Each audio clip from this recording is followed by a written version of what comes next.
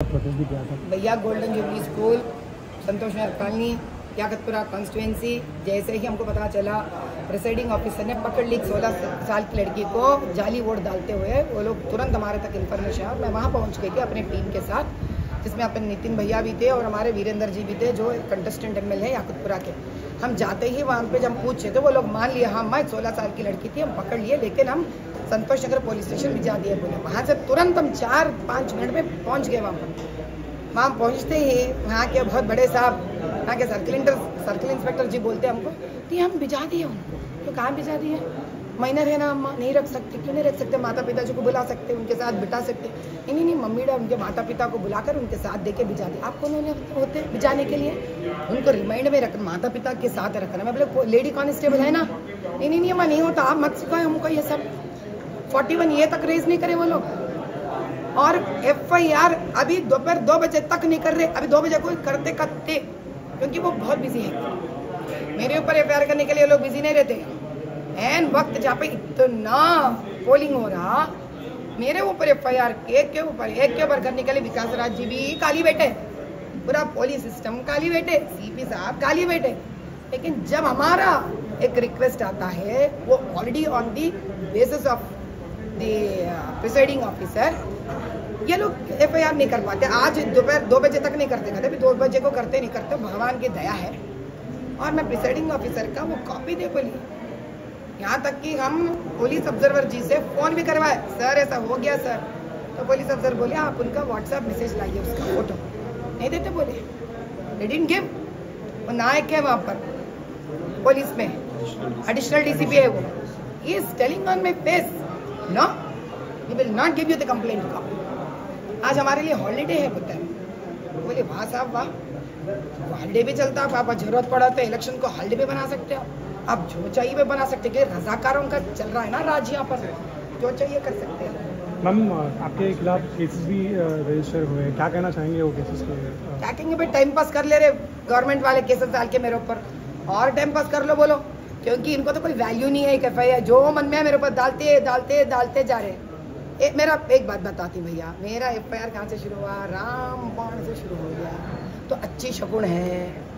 तो डालते न्याय के ऊपर एफ़ आई आर धर्म के ऊपर एफ़ आई आर सच्चाई के ऊपर एफ़ आई आर हिम्मत दिखाने के लिए एफ़ आई आर बहुत बढ़िया इतनी भाग्यशाली हूँ मैं। तो सच क्या- के लिए लड़कर एफ़ आई आर की मेडल्स पा रही हूँ मैं। मैम आपने भी बहुत जगह से कंप्लेंट किया है तो क्या आप भी एफ़ आई आर फ़ाइल करने वाले हैं इनके खिलाफ जो भैया दो घंटे कल मुगलपुरे का। दोपहर में इवनिंग चार बजे का तकरीबन हुआ था वो। और वो एफ़ आई आर कब फ़ाइल हुआ कंप्लेंट पता कंप्लेंट एक्सेप्ट कब करे, करे मालूम ये लोग? रात के साढ़े नौ बजे को बैठकर बैठकर बैठकर चार घंटे बैठने के बाद। बैठने के बाद हमारे लोग तब जाकर ये लोग तब जाके ये लोग एफ़ आई आर का एक्सेप्ट करें। अब आप बताइए क्या करना चाहिए? बताइए आप। हमारे एफआईआर को घंटे हमारे कंप्लेंट एफ़ भी नहीं अभी कंप्लेंट देते हैं ना एक्सेप्ट करने के लिए घंटे लग जाते मुगलपुरा में एक्सेप्ट करने के लिए। देखिए टाइम कौन से टाइम पे करें? मैं भी दिखाती हूँ आपको। अभी जो अरफात है ओवैसी के रिलेशन का है। कल 200 लोगों के साथ बिना परमिशन के सिटी में 144 सेक्शन में कैसा फिर सकता? हूँ ये देखिए Telangana receipt reception centre acknowledgement 22 29 ये टाइम पे एक्सेप्ट करें ये टाइम पर अभी गए अब ये लोग ये लोग डिसाइड हो गया ना क्योंकि मैं बताती संतोष नगर में क्यों नहीं करे मैं ये भी बताऊँ आपको ये पूरा दुनिया देख चुका इसका मज़ा तो कम से कम चार घंटे के बाद करें ये 16 उम्र की लड़की प्रिसाइडिंग ऑफिसर दी ना तो इसका वीडियो क्लिप नहीं है ना तो अब इसको टैम्पर करेंगे ये लोग। ये टैम्पर करने का हरकत है वो भी देख लेंगे हम ये टैम्पर कर लोगे मरे लोगों ज़िंदा लोगों का तो जो मार डाले उसको क्या टैम्पर करोगे भगवान? किस कुछ ना कुछ पकड़ में दे देता। चोर सब कुछ ठीक नहीं कर सकता कहीं ना कहीं अपना कोई प्रूफ छोड़ के जाता है। उसको पकड़ लेंगे साहब। न्याय पर रस्ते चलने वाले हम लोग ढेर सारा मिल जाएँगे हम कित कितना बचते निकलोगे? हम आ रहे पीछे पकड़ने के लिए। देखते जाओ।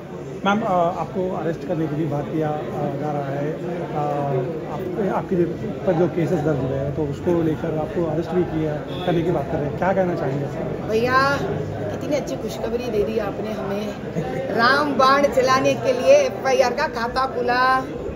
अब न्याय और धर्म और हिम्मत दिखाने के लिए अगर वो श्री कृष्ण जन्म स्थान भी जाना चाहते हमको हम बताएँगे, कृष्ण भगवान, आपने भी कसर नहीं छोड़ा।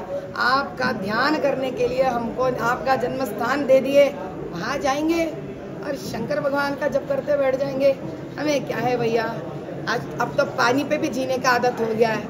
वो खाना नहीं दे के हम जेल में मार डालेंगे। अभी क्या बताते हैं असदुद्दीन हमको जेल में डालेंगे, हमको जेल में डालेंगे, उनको कौन डालेंगे भैया? उनको तो रिगिंग करवाएँगे ये लोग, बाजू बिठाकर। हमको डालेंगे जेल में ये लोग पानी भी ना देकर मार डालेंगे हमको। तब दिखाएँगे हम हमको प्यार करने वाले पूरे देश से कैसे आएँगे इनके लिए। मैम आपको स्टार कैंपेनर के तहत कहीं भेजा जा रहा है कैंपेनिंग करने के लिए। क्या कहेंगे उसके बारे में? कहाँ जा रहे हैं?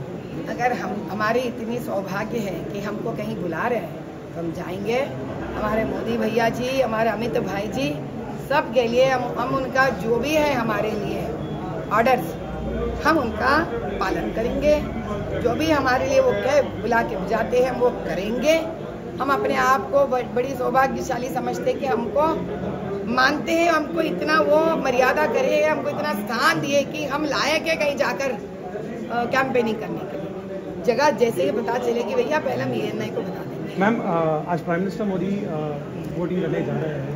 क्या कहना चाहेंगे? सारे इंडिया के टीम चंद्रबाबू नायडू और सारे कई लोग मिलकर जा रहे हैं। तो क्या कहेंगे? बस हम शंकर भगवान से प्रार्थना करेंगे कि हमारे सारे पूजा जब तब हमारे मोदी भैया को दे देना। ऐसे तो हमको पता है वो जीतेंगे लेकिन अब की बार 400 बार हैदराबाद से कर कर जय श्री राम। तीसरी बार ఒక హైదరాబాద్ పార్లమెంట్లో మొట్టమొదటిగా ఒక మహిళ ఉండి మహిళలను చెక్ చేస్తే తప్పు లేదు కానీ తప్పు? చేసినారు దాన్ని. లోపల ప్రిసైడింగ్ ఆఫీసర్ సరైన పని చేయకుండా బయట ఉన్న పోలీస్ కానిస్టేబుల్ మహిళా కానిస్టేబుల్ చేయకుండా మరి అక్కడ ఎవరు చేయాలి? కాబట్టి మేము అడిగే రిక్వెస్ట్ చేశాం. రిక్వెస్ట్ చేస్తే అది ఒక కేసు. మరి ఒక మరి ఒక హైదరాబాద్ పార్లమెంట్ అభ్యర్థి కారులో ప్రయాణిస్తుంటే ఎదురుగా బండి పెట్టి వందల మంది వచ్చి అటాక్ చేసి దుర్భాషలు మాట్లాడితే అక్కడ కేసులు బుక్ చేయరా? ఏంటి న్యాయం? కాబట్టి ఒక్కడే చెప్తాము అక్కడ కూడా కేసులు బుక్ చేయాలి. ఆ వ్యక్తులు ఏదైతే ఉన్నారో వాళ్ళందరి వీడియోలు ఉన్నాయి. వాళ్ళందరినీ అరెస్ట్ చేయాలి. కేసులు బుక్ చేయాలని మేము డిమాండ్ చేస్తున్నాం.